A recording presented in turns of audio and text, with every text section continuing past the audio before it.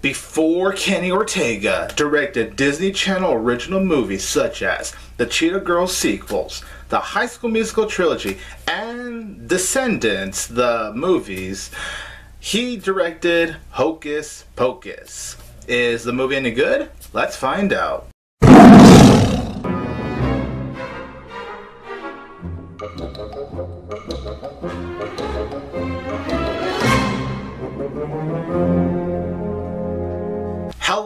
Hello there, everybody. This is 22 Tiger Dude here, and welcome to Chucky Attacks Halloween Extravagant Reviews. As Kevin Falk and I are going to be reviewing Hocus Pocus. So, Hocus Pocus, as I said in my intro, it is directed by Kenny Ortega. The film stars Bette Midler, Kathy Najimy, and Sarah Jessica Parker. Hocus Pocus tells the story of these three witches that were executed due to them practicing witchcraft, and we flash forward to 300 years where these witches are resurrected. And when these witches create chaos around town, it's up to these teenagers, along with the little girl and this talking cat, to stop these witches. So before I review Hocus Pocus, my guest star Kevin Falk is going to be reviewing it. So, Mr. Falk, take it away. Thank you, Tony. And hey, guys, it's Kevin again. Very happy to be on uh, Tony's channel once again for another Halloween review. So, Hocus Pocus, uh, this is a film that I, similar to Halloween Town, is definitely very nostalgic for me. I didn't watch this nearly as much as I watched the Halloween Town films, but it's a film that I used to watch a lot around Halloween time. I haven't seen it in like a very long time, so I was very excited in um, rewatching this one. But I was also a little bit worried because I wasn't sure it was really going to hold up as well as it maybe did when I watched it when I was a kid. And I have to say that while I don't think this movie is anything amazing, for the most part, I had fun with Hocus Pocus. It is the perfect example of just a really fun, quick Halloween watch that I think is, you know, pretty harmless, honestly. If the cast here wasn't as good as they were, and it didn't seem like they were having as much fun as they really were in this film, I don't think this film would work as well as it does. Really, I think the thing that anchors this film are our three main leads, you know, specifically Bette Midler, uh, Kathy Najimy, and Sarah Jessica Parker. These three are fantastic in their roles. I really love what they did here. Specifically, Bette Midler, she just, she goes for it, honestly. Everything I've seen Bette Midler do, whenever she, you know, is told to do something, she goes above and beyond to make the role as great as it needs to be. And Winifred is completely over the top. I mean, this is someone who's so over the top. She's like shouting everything. She's got this ridiculous accent throughout the movie, but Midler really embraces the ridiculousness, and that's one of the reasons why I enjoy Midler as much as I do, because she always does a really great job with um, elevating a role, and she did such a great job here. You could tell that she's just having a blast with this film, and she really just did an awesome job here. Winifred is essentially the most intelligent um, of the two, but the other two, I mean, they're they're kind of hopeless. Honestly, they don't really give her any sort of helpful tips or anything like that. They definitely don't make things easier, but Kathy Najimy and Sarah Jessica Parker are all very fun here. They have a lot of funny lines throughout the film, and I thought these three really just work great together. They were easily, like I said, the best thing about this film. And if they were in this movie, I don't know if this movie would be as, um, you know, beloved as it really is. And then the three kids in the movie, uh, I thought all of them were just okay, except for one. Uh, the main kid who played Max, I thought he did a good job for the most part. He's not like the greatest actor in the world, but he's serviceable I mean, there are a couple line deliveries that are kind of like, okay, maybe that wasn't the greatest thing in the world, but I thought he was good for what he had. Uh, and then Vanessa Shaw, who played uh, Allison, she was kind of bland. I really, you know, again, she was just serviceable. Uh, Thora Birch, though, however, the little girl who plays Dani,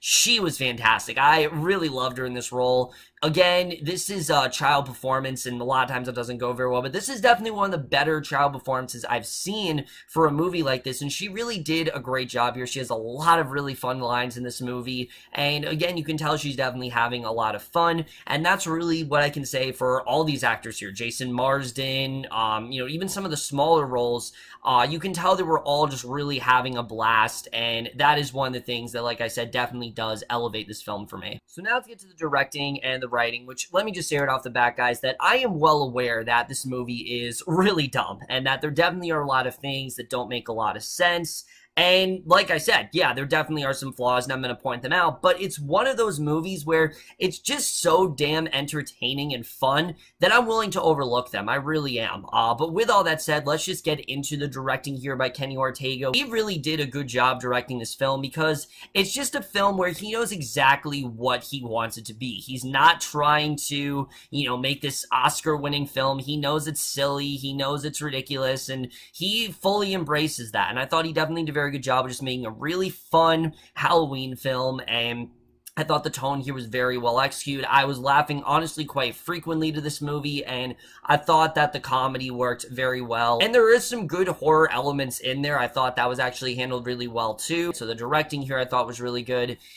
The writing, on the other hand, yeah, it's not the strongest. It really isn't. There are a lot of things that are kind of dumb about this film. Um, first of all, right off the bat, the whole plot where a virgin needs to light a candle it just doesn't really make a lot of sense. Like they never really explain why specifically a virgin and why they need that to and you know why that you know makes um brings everyone back brings you know summons the witches back why that and you know summons um uh Thackery back. At this they just don't really make a note of that. And uh, yeah, it is definitely dumb. And the kids in general do make a lot of dumb decisions, especially in the third act of this film. There's a lot of dumb stuff that, um, you know, Max and Allison do, which again, you, you can make the argument that, you know, they kind of, the, the, way things go in the film, it's kind of understandable why they do it, but it still is kind of dumb what they do. They don't really make the smartest of decisions, and you definitely do see that. Thought the first 20 minutes of this movie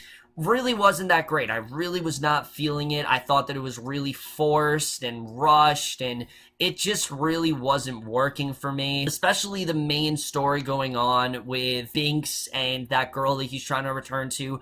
I just didn't really care, honestly. And it really felt like an afterthought. Like, I don't think the film focused as much on it as it could have. But when it did, it, I did think it did a good job with that. I thought, you know, Jason Marsden, he did a good job in the role for the most part. But just in general, I didn't really care that much about what was going on there. There's a scene where all the witches end up at this nightclub and there's sort of this spell that they cast and we don't really ever go back to it till the very end of the film and even then it still kind of feels like an afterthought. It feels like it's nothing that the kids are overly concerned about. It's nothing they're really thinking about and i did feel was kind of dumb that they just kind of forgot about it. Like the end, definitely they didn't forget about it necessarily, but I just feel like they could have focused on it a little bit more for me. The film really does embrace how ridiculous it is, and I thought the main story was actually really interesting. The way that it's kind of these witches, you know, what they're trying to do. And you're rooting for the witches because they're so damn likable. However, you know what they're doing is very wrong. You're very much against them at the same time. It's like, you know, you know definitely that these are not good people,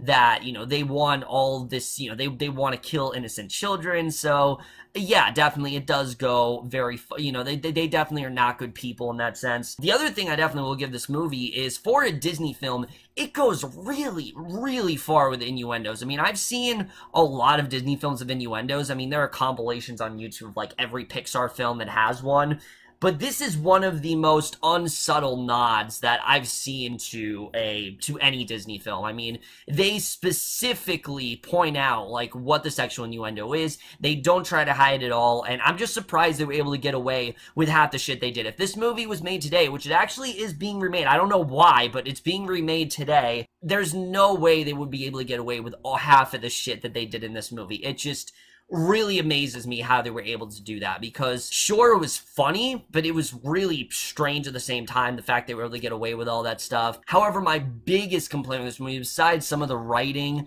uh, and also these these uh, bully characters as well. I've got to say, there were these bully characters they introduced in the film that I thought were just really annoying and dumb, and I'm glad that they were not in the movie for too long because they almost ruined the movie for me. They have some of the dumbest lines I've ever heard. But besides that, uh, really the other big problem this movie is that some movies you rewatch them and you're like, oh, the CGI is not that bad. Not the case with this film. The CGI is pretty terrible here. And it's very evident that this is in the 90s and that, yes, you know, some of the stuff wasn't up to par like it was today, but it really doesn't look good. When they're flying, it just looks really phony, honestly. Like, you can tell very well that they're on wires. And then the CGI cat in the movie, the mouth movement uh, really doesn't work at all. Uh, sometimes it's not even in sync. So, yeah, the CGI really is a big factor in one of the reasons why this film, you know, to some, I think definitely, it definitely does have a big flaw in that regard. In terms of the score, I enjoyed the score. Actually, one of my favorite scenes in the movie is them at that karaoke place. And you guys know the scene. It's when they sing, I Put a Spell on You. They're at that Halloween party and uh, they started singing, I Put a Spell on You. I actually really love that song. And I, I Bette Midler, you know, if she gets the chance to sing in any movie, I'm down because she has such a fantastic voice and she just commands the stage immediately. And that's the perfect example of that. The way she's able to do that, she does such a great job with, and I'm glad that they did give her the opportunity to sing because it hell, she's fucking Bette Midler. Obviously, they're gonna get her the chance to sing at some point. And then the ending of this movie, this movie really flew by. Like I said, I thought the first 20 minutes were kind of rushed, but after that, once they actually summoned the witches, then I was into the movie, and I was into it pretty much for the rest of the film. Nothing really took me out of it. Maybe some of the CGI to take me out of it here and there, but for the most part, I had a really fun time with it, and it really did fly by for me. Hocus Pocus, just a really entertaining uh, Halloween film. It's a quick watch. It's something that you can get done. Just really just a very entertaining watch. I definitely did enjoy watching. It is a film that I think I definitely do want to watch more in the Halloween time. I am definitely happy that I reviewed it. And I am overall going to give Hocus Pocus a B. So overall, guys, that's it for my portion of the Hocus Pocus review. Thank you again for Tony for having me on your channel. Always really enjoy uh, doing these reviews. And now, Tony, back to you. Thank you so much, Kevin, for reviewing Hocus Pocus.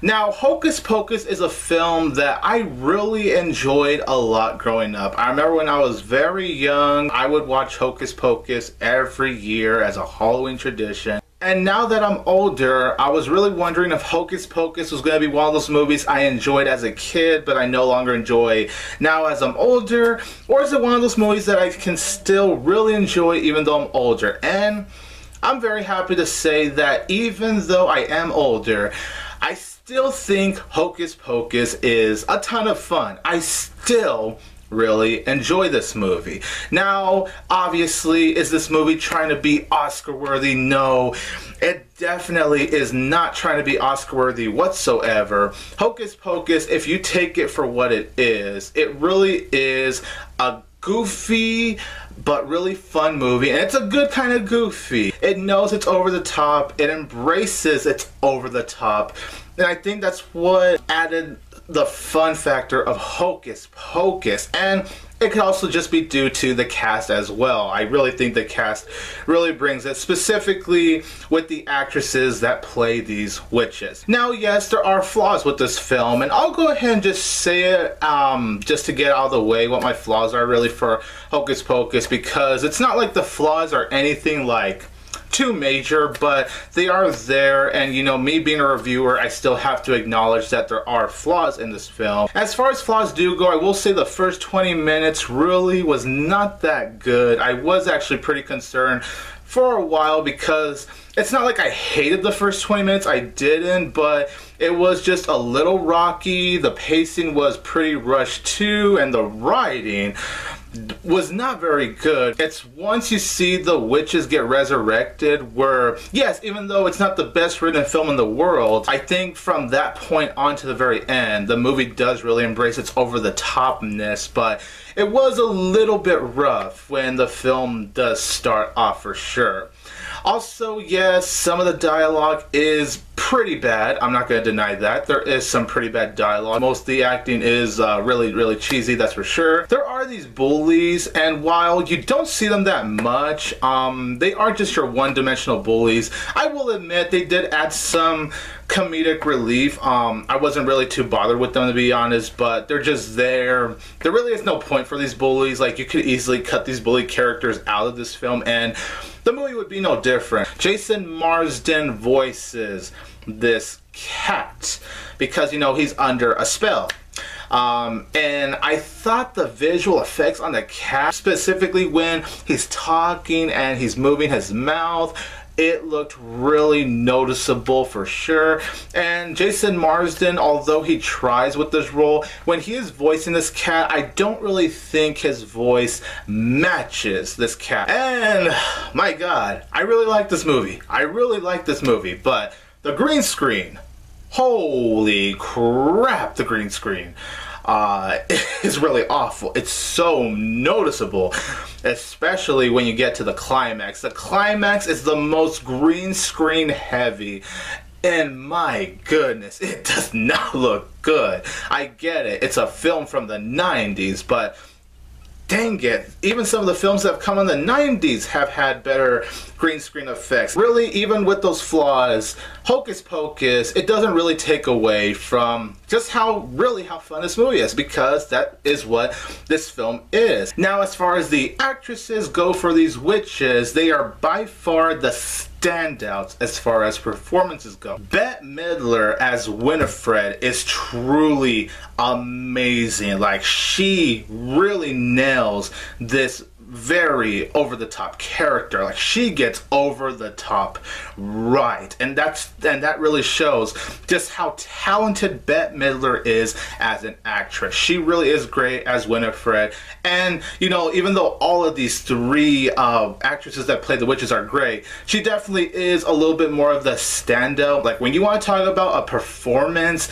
that does over the top right Look at Bette Midler as Winifred, and she's truly great. She really fits this world. Sarah Jessica Parker as Sarah, uh, funny enough, uh, her real life name is the name of the character she plays. She's really great in this film, and you can tell that Sarah Jessica Parker, just like with Bette Midler, really is having a lot of fun. She really does shine. I really love how over the top she is, and she really does make it work. And that same thing goes for Kathy Najimy. Like I said with Sarah Jessica Parker and Bette Midler, she is truly great. She embraces this role. She has a lot of fun. You could tell she's having the time of her life on set, just like with these other actresses. All three of these actresses are honestly truly wonderful as these witches. The interactions with these three are just so entertaining and they definitely make for some of the funniest moments, especially since these witches, they're out in the modern times. And, and for them to experience how different the modern times are to 300 years ago was actually really cool. This movie is honestly very funny. Like I said, this movie really does embrace how over the top it is and the comedy just plays out very well because of that. The cheesiness honestly just had me laughing a lot and had me smiling. I also don't know how Disney got away with this, but wow. I didn't realize Hocus Pocus had so much sexual innuendo. Like, there's a ton of really dirty jokes. Uh, I don't know how that was possible, but wow. Especially in this one scene uh, dealing with this bus driver. Yeah, that was an interesting scene. I guess credit Disney for going pretty ballsy as far as making these pretty sexual jokes throughout this film. And yeah, I won't lie, they did make me laugh, but I was actually surprised at the same time that they actually went that far. There's not a single moment where I was bored watching Hocus Pocus, to be honest. This is a very well-paced movie.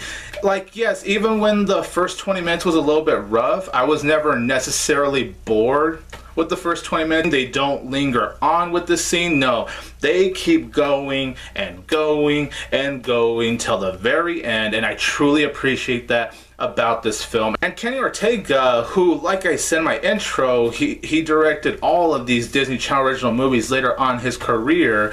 He did a really great job directing this film. I really thought Kenny Ortega did such a wonderful job of bringing this world to life. I really did feel like I was in this world. I was really transported into this very goofy and silly world. I truly did feel like I was a part of this world with these witches as well as these teenagers, a little girl, and this immortal black cat that we do follow in this film. And even as far as writing, even though it doesn't always have the best writing. I did feel like for the most part the writing is pretty solid because I do feel like the writers were really embracing the silliness of this film and they were just really aware of the kind of film they were making there's never a moment where I felt this film took itself too seriously, where to the point where I was taken out of the film and I'm no longer having fun with it. I think as far as just having fun with the film, it is pretty consistent from the moment we see these witches resurrected to the very end. The cinematography is very nice looking too. I do think it's very well shot. Not exactly with those green screen effects. Besides that, I do think that the cinematography uh, was actually really good. Now, as far as the teenagers go, we follow Max and Dani, who play these, you know, typical teenagers, the guy and the girl. They have some kind of liking for each other. We follow them. They're not characters I hated following. They're just kind of whatever. Uh, but I do think the actors were serviceable. They're serviceable. They're not good per se, but I do think they're serviceable and they are enough for me to get through the movie. And luckily, they're not characters I necessarily hated. But I will say, as far as human performances go, like regular humans, this little girl is easily the standout as far as all of these humans go. She plays the little sister of Max and she is so, so good. She adds so much charm and personality to his character. She has this snarky attitude, but a good kind of snarky. When Max tries to treat her as if she's dumb, she really isn't. She doesn't really buy into Max's games, and that was really cool to see. I do like the score here too. I thought the score had this nice Halloween vibe. Well, I mean, this movie is called Hocus Pocus. This is a movie about witches, and this is a movie that should really get you into the Halloween spirit. And the score alone really does get you into the Halloween spirit, and it does match this overall atmosphere. And you could tell that this movie is having fun with itself when it even has a karaoke scene. There's actually a scene where these witches um, are actually singing, uh, and it's a lot of fun. It was actually really cool to see that, and not for nothing, but I thought the actresses, you know, the ones that played the witches, they did a very good job of actually singing. And Sarah Jessica Parker even has a little brief moment where she's flying on the broom and she's just singing a little bit. And I have to say, she sounded quite lovely in that one moment. Although, yes, the climax is very green screen heavy, I can still have fun with what's going on. And not for nothing, but I thought Hocus Pocus actually ended in quite a heartwarming note. It was actually very cute. It was very nice. It, it ended on a pretty heartwarming note that I actually really appreciated. Overall, I think Hocus Pocus is a very solid film. This is the perfect film to watch on a time like Halloween. This is a film that just had me laughing a lot. It had me smiling a lot. I think uh, films like this really work for Kenny Ortega. He was definitely the right choice to honestly direct a movie like Hocus Pocus. A lot of credit definitely goes to him. Hocus Pocus, yes, it's cheesy. It's very, very cheesy, but if you take it for what it is, it is one of those films you could have fun watching, especially around a time like Halloween. I'm gonna give Hocus Pocus three out of four stars. So you guys, in the comments down below, let me know what you think about Hocus Pocus. And I would love to thank Kevin so much for being here to review Hocus Pocus. He's a very great guy. He has a great channel. If you guys want to check out Kevin's channel, I will leave a link in the description down below. This is 22 Tiger Dude here. And don't forget that I will always have Tiger Power.